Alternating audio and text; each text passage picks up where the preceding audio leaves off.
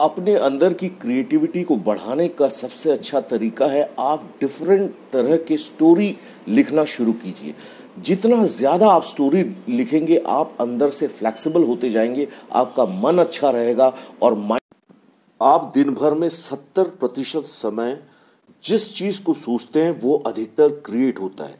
अगर आप सत्तर प्रतिशत टाइम ये सोचते हैं कि आपके पास पैसे नहीं हैं तो आपके पास वही होगा जो आप सोचते हैं। इसलिए कोई भी एक सीरियल आज देखिए और उनके एक्टर्स को देखिए और उनसे आप अपने आप को कंपेयर कीजिए कि उनमें कितना ज़्यादा कॉन्फिडेंस है, उनकी डिक्शन कैसी है, उन्होंने कितना तैयारी किया होगा, कैसे विज्ञान कहता है, समान चीज़ें उसी तरह की चीज़ों को आकर्षित करता है जैसे मैग्नेट लोहे को आकर्षित करता है प्लास्टिक को नहीं।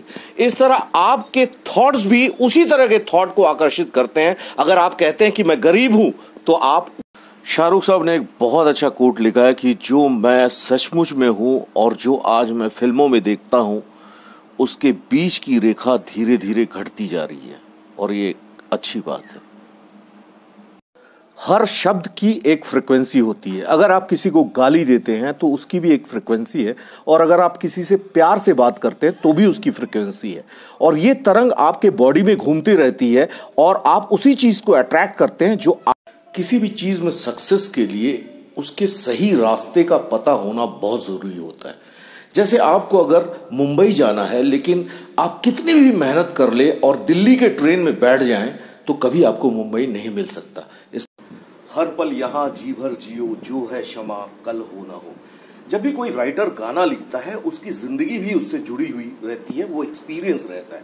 कितनी अच्छी बात है कि हर मोमेंट आपको हैप्पी रहेंगे तो पूरी ज़िंदगी हैप्पीनेस अधिकतर लोग पंचानवे प्रतिशत भीड़ का हिस्सा होते हैं, पाँच परसेंट लोग क्रिएटर्स होते हैं, जिनको देखकर वो भीड़ ताली बजाती है या खुश होती है। इसलिए आपकी मेंटालिटी भीड़ की मेंटालिटी के साथ कभी नहीं जच सकती है। इसलिए डोंट वरी दिन भर में पचास हज़ार से ज़्यादा थॉट हमारे सबकॉन्शियस माइंड में आते हैं। उनमें से अधिकतर हमको समझ में नहीं आता है। अगर आप रोज मेडिटेट करते हैं या ब्लैंक माइंड की प्रैक्टिस करते हैं तो ये सारी एनर्जी आप यादव? ए संकठा गजोधर? बिरजू? ये अपना ट्रेन छूटा के बाजू वाला। अरे पूरा पब्लिक उल्टा घर में बैठकर बड़े बड़े सपने देखने से कुछ नहीं होता है। आपको पहला कदम लेना बहुत ज़रूरी है। अगर आपको एक्टर या एक्ट्रेस बनना है तो पहला कदम लीजिए। थिएटर ज्वाइन कीजिए या कोई क्लास ज्वाइन कीजिए। आप भगवान ना करे आपके हाथ में अगर चोट लग जाए गलती से तो आप किसी भी कंडीशन में हॉस्पिटल जाते हैं, भले आपके पास पैसे ना हो। क्यों पता है? क्योंकि आप अपने बॉडी से उतना प्यार करते हैं। इतना प्यार अगर एक्टिंग में है तो आप ज़रूर सक्सेस होंगे।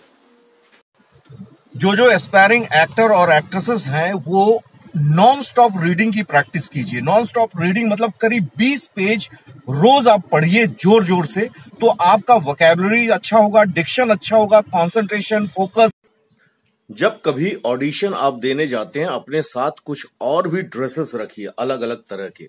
जिस तरह का कैरेक्टर आपको मिलेगा, उसके हिसाब से अगर ड्रेस को चेंज करते हैं या उस तरह का ड्रेस पहनते हैं तो फीलिंग